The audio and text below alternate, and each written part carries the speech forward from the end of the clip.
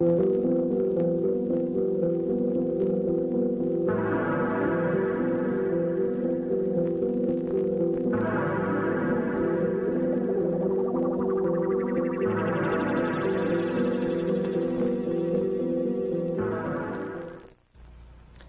my name is Jim Arabito, and I'm a Seventh-day Adventist layman. As a Seventh-day Adventist, I'm very, very interested in the fulfillment of prophecies in these last days. Especially am I aware of the place of Roman Catholicism in closing events. Well, I was on a street ministry in Berkeley about 10 years ago. I became acquainted with a Roman Catholic Jesuit priest from the University of San Francisco. I asked him in one of our conversations, have you read The Great Controversy? And he explained to me that The Great Controversy has a lot of truth in it. In fact, he told me that the Roman Catholic Church will rule the world again. For a while, I was in a state of shock. You know, it just happens to be that although we're Seventh-day Adventists, Many times we don't see in reality the very things that we supposedly believe. It hit me very hard, and I began about 10 years ago collecting books on Roman Catholicism and world politics. You know, uh, we as Adventists expect somehow to see all these events take place out in the open.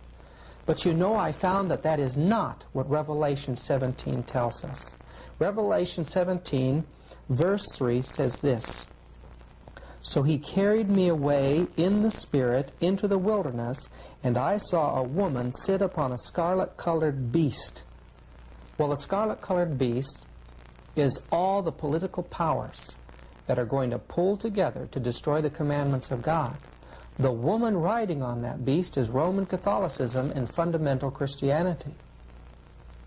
John describes these things as taking place in the wilderness.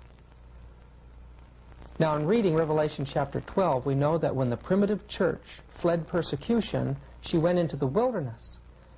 And in Great Controversy, page 55, Ellen White tells us that the wilderness is a symbol that represents obscurity and seclusion. This means that at the end of time, Roman Catholicism is working in secret with the rulers of this world in an effort to control the world, to take it over.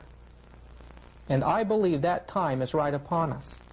You know, I plan to put together a documentary film called The Missing Dimensions in World Affairs. And for that film, I had gathered together interviews with people who had had either personal experiences with infiltration of Jesuits or Catholic priests, or in one instance, an interview with an ex-Jesuit priest by the name of Alberto Rivera. In another, a secret agent uh, for the federal government working for the Pentagon during the Second World War, and his wife was a chief stenographer of the Pentagon. All the funds that went over to Europe for the troops passed first through the Vatican. This man had had personal um, working relationships with Roman Catholic priests and listen to him. He knows what he's talking about. I had to stop my plans to do this documentary and decide to just get these things before you right now. The Jesuit priests have been infiltrating every institution and they're ready now for a takeover. I want you to pay close attention to this first uh, person that we're going to interview. He's an ex-Jesuit priest and he tells you about the, um, the, the infiltration by the Jesuits.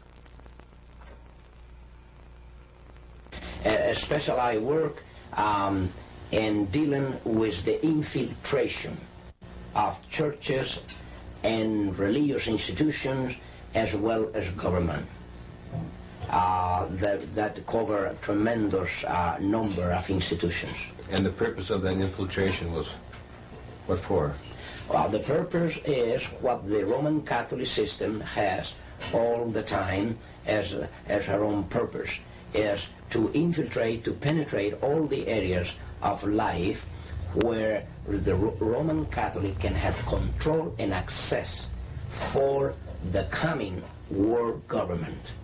What that means is in preparation for that world government, the Roman Catholic institution, especially since the establishment of the Jesuit order in 1541, throughout these 500 years, they've been in preparation in and, and through infiltration and penetration of every uh, level uh, of society in order to uh, take over uh, the world uh, politically and religiously. There are two doctrines that define very well these uh, these dangerous goals of the Roman Catholic institution. Two doctrines define this very well. One is called the doctrine of the apostolic succession and that is dealing with the papacy. And the other is the doctrine, the temporal power, and that is dealing with world government. Of course, both, because you can see that even the Pope and his own individual office, he meet those requirements.